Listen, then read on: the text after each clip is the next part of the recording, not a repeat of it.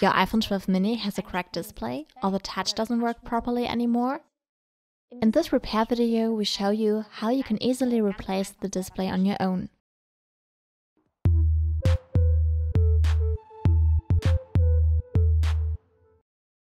Replacing the display of the iPhone 12 mini is relatively easy, since only a few parts have to be removed. Therefore, plan about 45 to 60 minutes for your repair. For the repair of the iPhone 12 mini, you need the following tools. In addition, the following tools can be helpful. All tools and a replacement display of the highest possible quality can be found in our online store at iDoc.eu. You can find the links in the info box.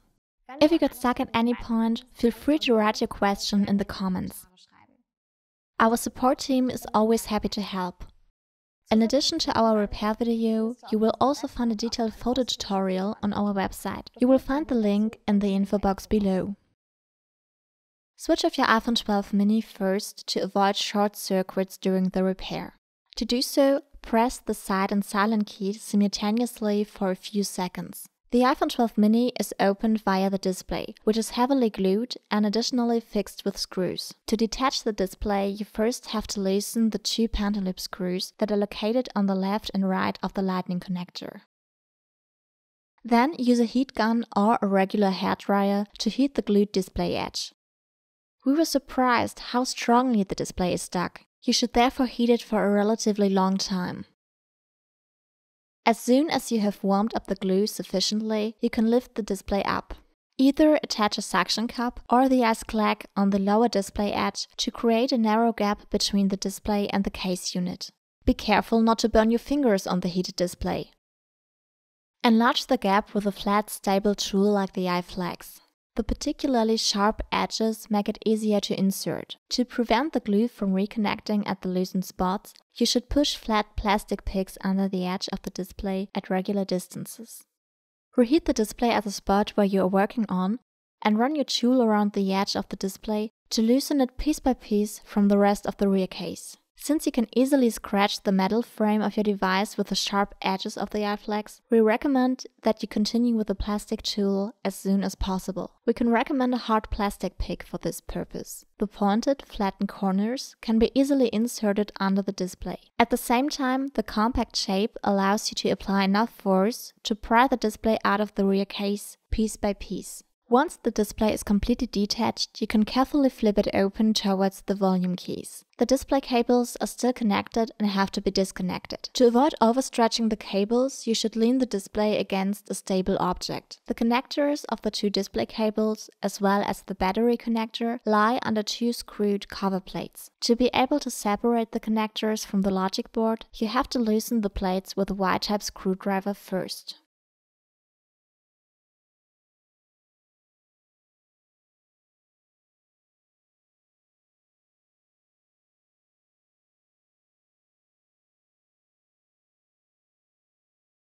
To prevent a potential short circuit, you should always separate the exposed battery connector in the first place. To do so, carefully drive a spatula underneath the connector and lever it off the logic board. Do the same to separate the two display connectors.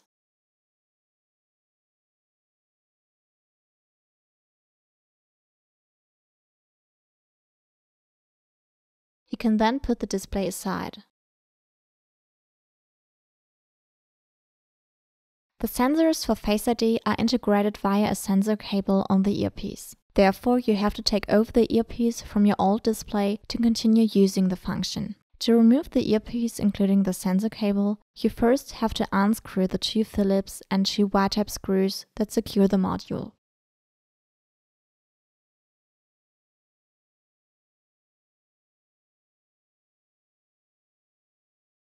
Fold the detached earpiece around and use a flat, sturdy tool like the steel spatula to carefully lever the sensors from the guides. Be especially careful not to damage the sensitive sensors. Position the earpiece in the replacement display and press the sensors back into their guides. Make sure that the sensors are all seated evenly. Then flip the earpiece around and fix it with the screws.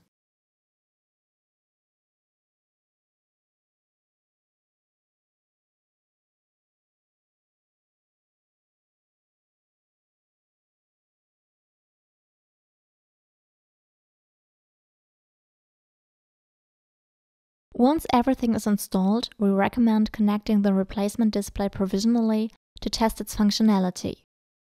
Lean the display against a stable object and press the connectors onto the logic board.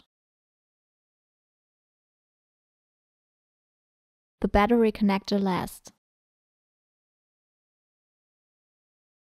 Then carefully fold the display around. Do not press it tight yet. Turn on your device and drag an app across the screen to check if the touch responds everywhere and no pixel errors are displayed. After that, also test if Face ID still works properly after taking over the earpiece. If something does not work or doesn't work as it should, check again if everything is connected and screwed correctly. If everything is okay, you can open the display again and insert the cover plates. The screw holes help you with the alignment. Screw the cover plates back in place with the Y-type screws.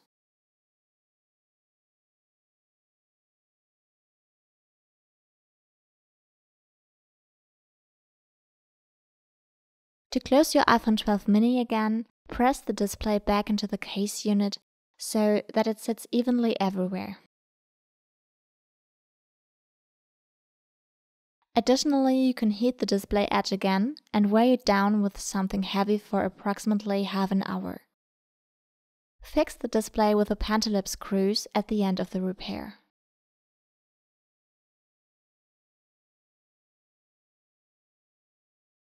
I hope the display of your iPhone 12 mini is now shining again.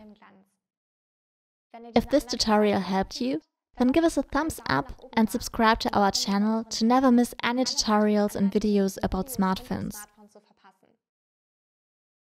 High quality tools, spare parts and accessories for your smartphone repair can be found in our online store at idoc.eu. iDoc, everything for your smartphone. Find more helpful videos here. See you next time!